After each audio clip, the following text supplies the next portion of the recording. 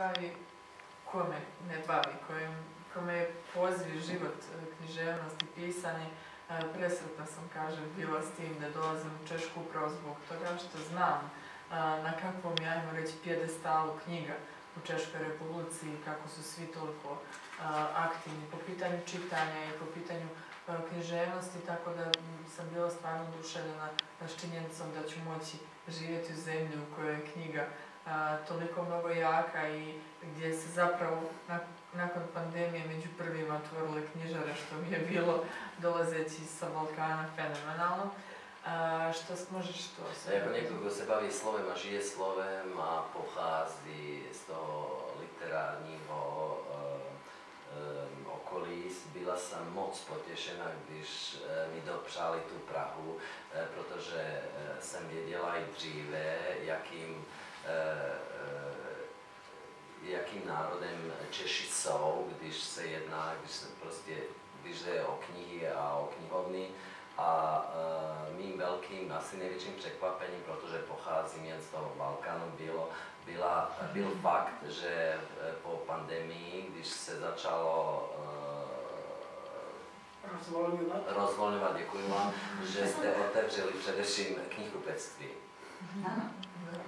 I bila je zanimljiva, bili smo postavili, pošto imam dosta jake društvene mreže, postavili smo fotografiju knji, autobusne stanice koja je imala malu biblioteku u Pruhonicama i to je na Balkanu sjajno odjeknulo i svi su mediji to prenijeli, da je nevjerojatno da imaju takvu a, takvu autobusnu stanicu. Na socijalni které používám a, a většinou taková různá překvapení, s kterými žiju a která která mi hodně dává. Já i vás v republici v Pruchonici jsem na zastávce, asi autobus, autobusové, viděla malou knihovničku, vyfotila jsem, dala jsem na to a to veškerá média psali o tom, že takové něco jako existuje. Jako, a myslím, že těch takových knihovniček máte až až v republice. No. A što se tiče Bosne i Hercegovine, tegoba Bosne i Hercegovine jeste što uz sve probleme koje, s kojima se suočava uvijek je zapadno i tako teški scenarij kroz povijest, tako se dogodilo kroz rat, e, pa i kasnije u mnogim nekim situacijama. Dakle, naša najveća biblioteka u Bosni i Hercegovini potpuno je uništena, nacionalna biblioteka u zgradi Vijećnici u kojoj je isto Karlo Paržik počeo da je radi, pa je završio Aleksandar Vitek ona je bila potpuno uništena, potpuno zapaljena, više od milijon i pol knjiga, dva milijuna, tako nešto. Knjiga je potpuno uništena.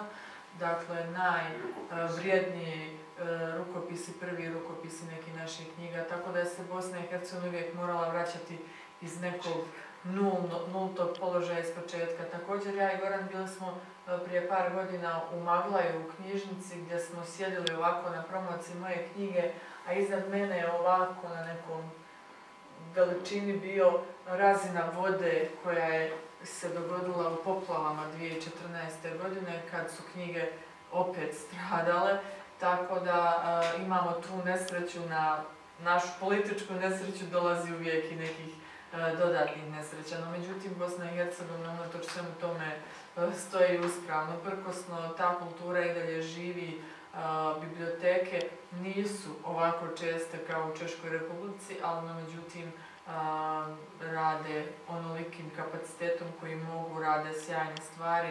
Imamo odličnu grupu mlađih posebno pisaca koji su se sad aktivirali u, zadnji, u zadnjih nekoliko godina tako da smatram da će neka budućnost bosansko-hercegovačke književnosti da zaista ostaje na nekim stabilnim nogama i jako zanimljivim piscima. Ono što je problem također poslije rata, mnogo ljudi se odselilo, također i naši pisci koji su pronašli svoj dom sad što u Hrvatskoj, što u Srbiji, Sloveniji, pa i po cijelom svijetu, koji još uvijek sebe pronalaze u tim nekim jezicima u kojima sada žive i u zemljama u kojima jesu, no međutim, neka Bosna i Hercegovina i dalje u svima njima tilja kao ne, ne, ne, neka suština i, i njihov korijen i većina njihovih dijela je opet vezana za Bosnu i Hercegovinu. Tako da Smatram da s obzirom na kapacitet kojeg imamo, da se dešavaju dosta velike i dobre stvari. Imamo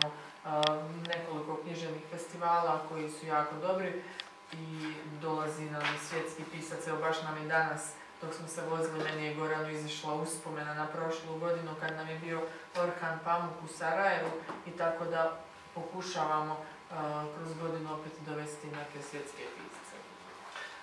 Bohužel Bosna Hercegovina není přes dějiny, pokud začneme zkoumat. Byla velice zajímavá tím, že pořád se něco bouralo, pořád se něco pálilo, nic zachováno není a asi po milionkrát jsme museli všechno začínat z nuly, znovu. A asi náš poslední, víme všichni o té poslední válce, která byla na Balkáně a zvlášť v té Bosně a Hercegovině, nemůžeme, pořád vzpomínáme tu věčnicu, starou radnici, která byla knihovnou nacionální.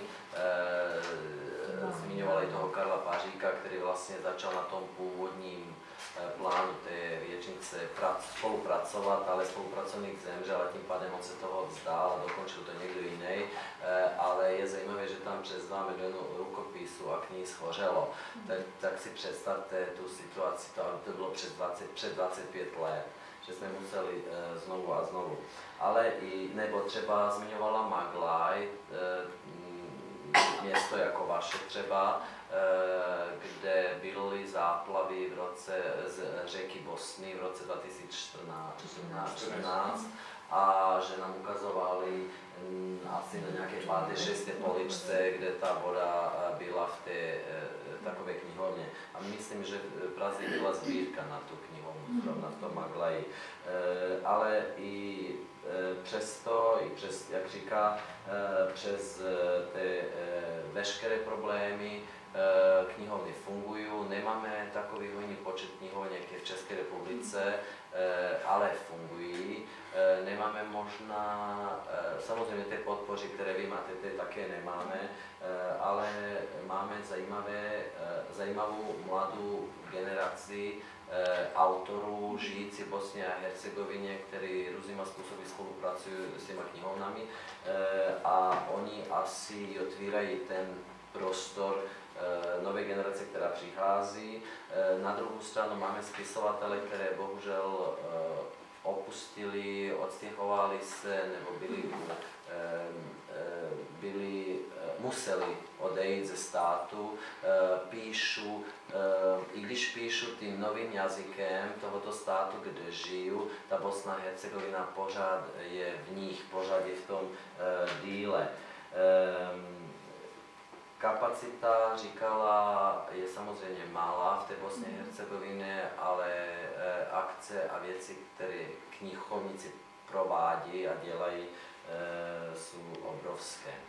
Dá se říci, protože z takových uh, malých prostorů a, a malého počtu, když opravdu srovnáváme s Českou republikou, uh, dá se říct, že díky těm knihovníkům, díky knihovnám hodně akcí se dělá.